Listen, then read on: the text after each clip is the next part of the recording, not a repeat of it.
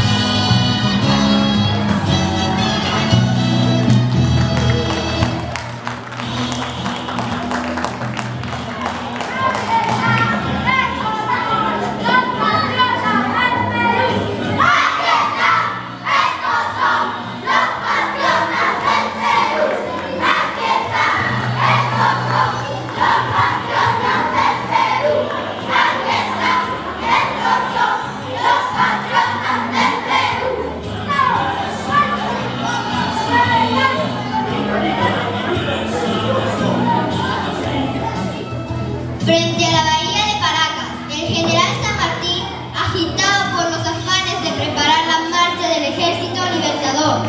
se recostó bajo la sombra de una palmera y se quedó dormido. Entonces soñó que estaba frente a un gran puerto, donde había buques grandes con banderas de todas las nacionalidades. Soñó también que los arenales de la bahía se habían convertido en un- una población de, con altos y hermosos edificios, donde ondeaban muchas banderas, pero entre todas ellas había una que sobresalía por su belleza y